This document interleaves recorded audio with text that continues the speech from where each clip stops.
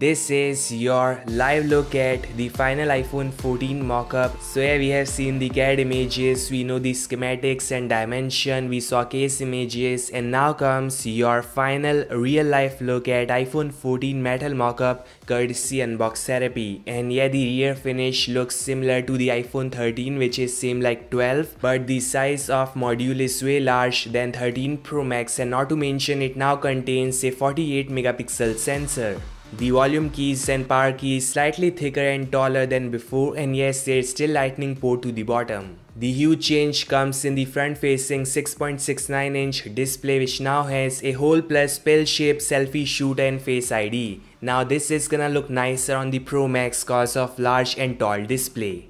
So yes, of course, I'll buy this one, the 14 Pro Max, and I also picked the 14 Max, which is gonna have a 6.7 inch display size, 60 Hz refresh rate, small notch, A15 Bionic Silicon, and of course, not so expensive price tag. Yes, the A15 Silicon is way powerful and power efficient than 8 Gen 1 we have right now, so this device is an instant pick if you are looking for a performance centric device. Here for those who want max out 120Hz display and A16 CPU, the Pro Max is a perfect pick. This isn't just an upgrade, it's a breakthrough. Shocking news coming in from Ming Chi Apple has finally given up and thanks to EU they'll switch to USB-C next year. So yes, the iPhone 15 series will have USB-C port instead of lightning port. The iPhone 15 series is also gonna have an I-shaped hole in all four models, so a small but huge changes in coming years.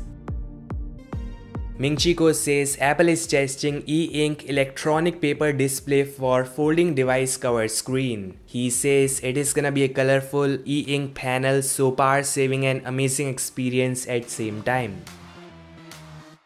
Some news on iOS. The iOS 15.5 is now live with small changes like security patches, some changes in Apple Card interface, universal control for iPad OS, automation and animation fix. Yeah, you can download this update right now. The iOS 16 developer beta launches on June 6 and Mark Gurman says the public beta of iOS 16 might launch in July. So yeah, iOS 16 is coming soon and I think we'll have lots of changes in terms of interface like maybe battery percentage in the status bar cause no more notch in the iPhone 14 Pro Max. So yeah, they'll surely do some changes in the software to match the iPhone 14 design language.